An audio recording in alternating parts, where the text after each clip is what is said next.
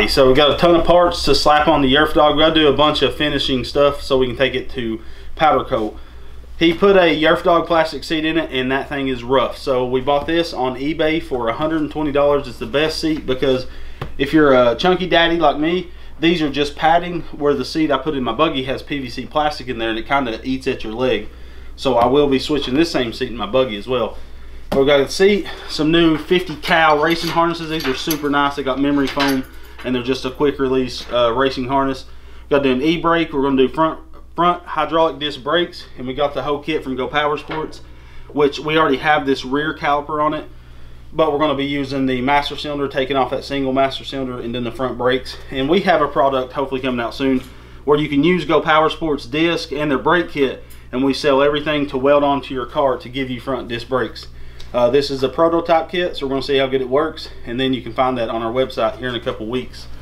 We've got a mount of ammo can an oil catch can a little light bar and we're doing a oil pressure gauge a voltage gauge and a tach on this buggy and then it's like strip it completely down flip it over make sure everything's welded and we're going to do a skid plate and a couple little things on his uh, swing arm. So a lot of work to do to get it to powder coat so we're going to start tearing into it getting junk done baby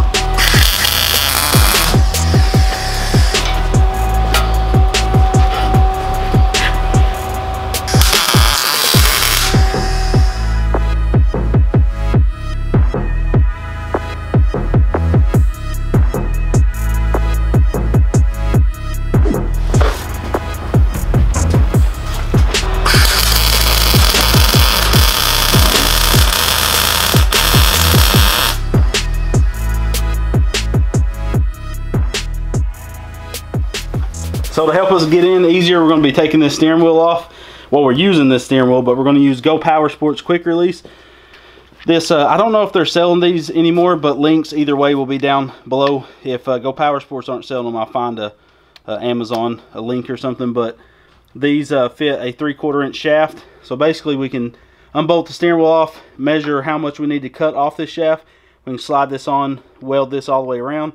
Then we'll have a quick release, which is dope. Yep.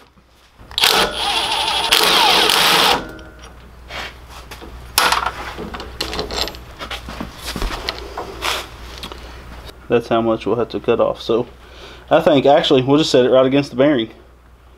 Should be perfect. You know what I mean? So leave three quarters or a little bit more than three quarters of an inch on the shaft because remember we're going to bolt the shaft and slide it out. Mm -hmm. Get rid of all these and bam. So we made this yoke right here unboltable so we can pull this whole steering apart for stuff like powder coat. So now Daniel's going to unbolt this uh, U-joint. It's got two half inch bolts in it. Well, two 5 16 bolts, half inch. Nuts. Might zip that out.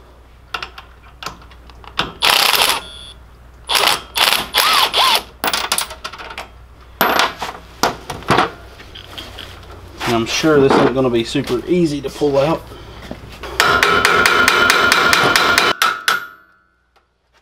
Keep on going. Oh, holy moly. Ejecto seat. Ejecto seat, cuz.